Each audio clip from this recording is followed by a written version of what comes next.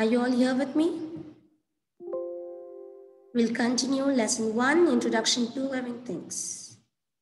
So what are the five characteristics that all living things share? Any idea?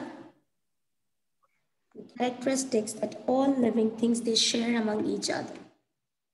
Although there are many different also. Hello, can you all hear me? Please say me yes or. Tell me, what are common things in living, all living things, like in plants and in animals and you? What are the common things?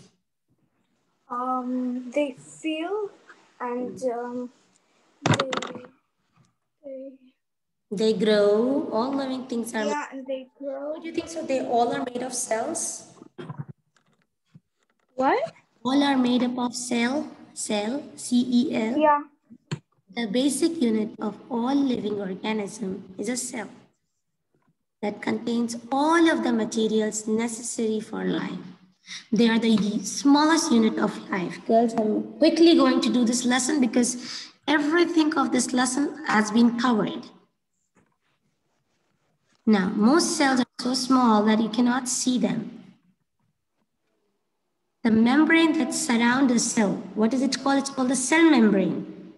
Like I told you, the door and the walls protect you from the outside world. Like that, every cell has a cell membrane which separates the cell contents from its environment. Unicellular organisms are made up of what, are, what is the other name of unicellular organism? Who will say me? What, miss? What is the other name given to unicellular organism? What is the other name? Prokaryote or eukaryote? What is it? Prokaryotes. Yes, prokaryotes are unicellular organism made up of one cell. Multicellular organisms are made up of more, one or more cells that are also called as eukaryotes. Multicellular, like us, we have trillions of cells, and each of them they have their own function. Now, don't you think so? Mostly all living things they have ability to sense the change in the environment and to respond to the change. Even plants, when they cannot talk, but they respond to sunlight. The flower bend that gives you the response. Any change that affect the affect the activity of an organism is called. Like right now, if you hear a blast, or if you if your brother comes and pinches you, or if your sister comes and pinches you or hits you, ouch, that's my response. So your brother hitting you, that is the stimulus, and the way you reacted to stimulus is the response. There are two things. Whatever change that affects, the change that affects the activity of an organism, that is called as a stimulus. A stimulus can be gravity, it can be light, sound, a chemical, hunger, or anything else that causes an organism to respond in some way. Anything. It can be a light, it can be a sound, somebody giving you something to taste, and that taste, your hunger, anything else that causes organism to respond is nothing but it is called as stimulus. Conditions inside an organism's body must stay relatively constant. The reactions which are going inside my body are keeping me alive and can help only when conditions are exactly right. Whenever my brain, my heart, my kidney, all they function properly, then only my body remains alive, right? If your functions are not properly, you'll be sick and finally we die. We have to, you remember the word homeostasis? I told Yeah. you, remember the word that this balance, it must maintain the Yeah. internal condition to survive. Your body has to maintain balance for itself according to the environment. So this maintenance is called homeostasis. I'm not going to explain again because the whole lesson I have told you about homeostasis. Organisms make other organisms through the process of reproduction. They make other organisms like through asexual or through sexual. And whenever organisms reproduce, what do they do? They pass the copies of all the part of their DNA to the offspring. We have been studying that how the DNA comes from the parent to the son or daughter or flower to a flower, how it copies that DNA and comes to the offspring. What is the full form of DNA? Deoxyribonucleic acid. If you want to note it down, girls, deoxyribonucleic acid. It is a genetic material that controls the structure and function of the cells. Girls, am I going fast? No, miss. No, understand what I'm teaching? It's all like revision, cell, DNA.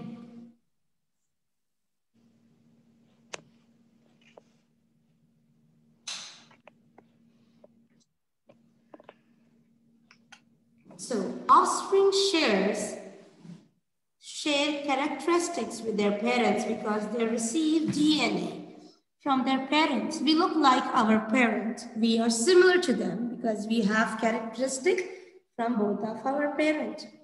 Living things reproduce using sexual or asexual reproduction. And if it's two parent, what is it called? Two parent. It is called as? Um, uh, Sexual. Sexual reproduction. And again, each offspring receives part of its DNA from each parent. Most animals and plants, plants, they reproduce using sexual reproduction. When I say single parent, it is asexual. They get an exact copy. Here, they don't get exact copy. They, get, they are similar because they get from both so if it's a parent without mm. offspring, without offspring, that's mean asexual. But that a parent with offspring, that means sexual reproduction, no. right?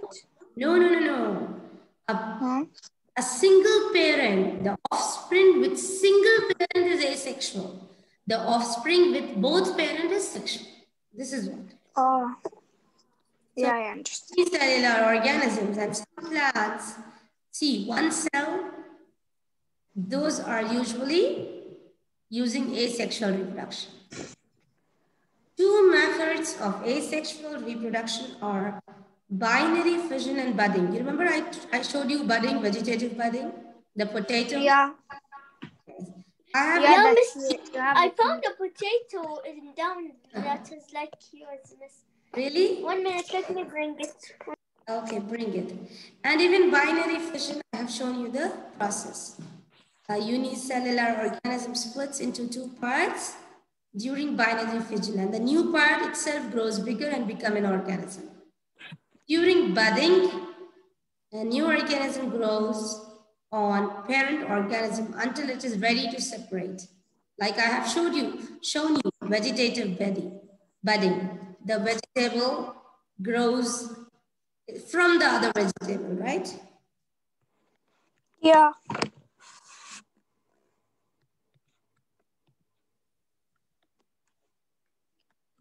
One minute, girls, I think. Miss, I found it. See? Show me, show me.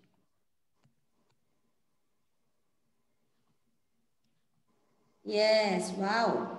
That has a lot of, yes, this is like vegetative budding. One minute, one minute. Show it to me again. I will stop. There's a lot, Miss. There's a Yes, you have lots of, yes, you have lots of uh, yeah. buddings here coming out that if you put it's it. weird, the shell is like soft and squishy and. Yes, if you put it in the soil, it will grow, it will give you more potatoes. Yeah. Okay. So now, One minute.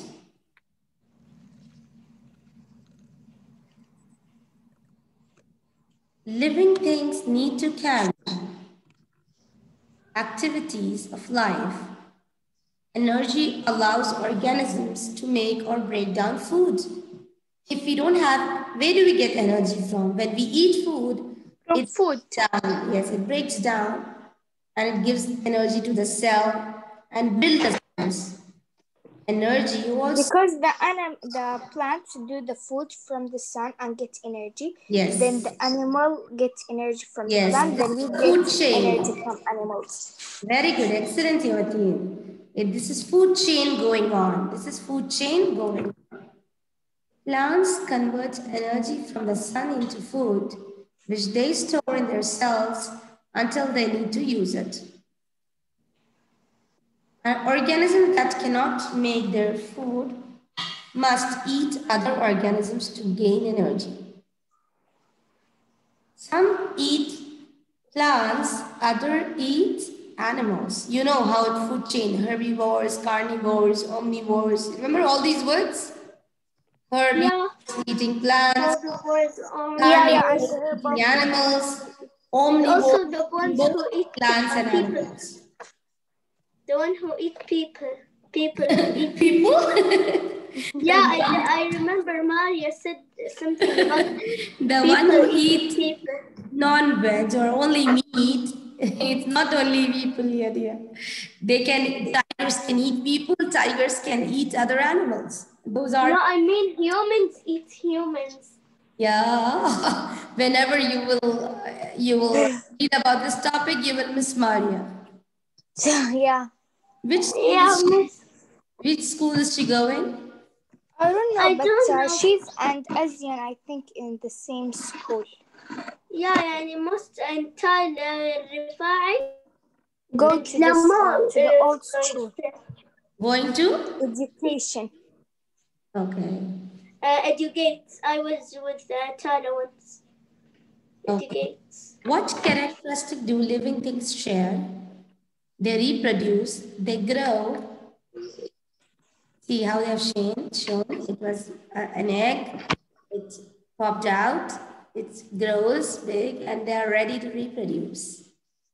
Almost all organisms need water, air, food, place to live in order to survive. You know that water is very most essential for life. Cells are mostly made of water and chemical reactions of cells require water. What do we need to survive? Air, water, and of course our body and cells, they use oxygen.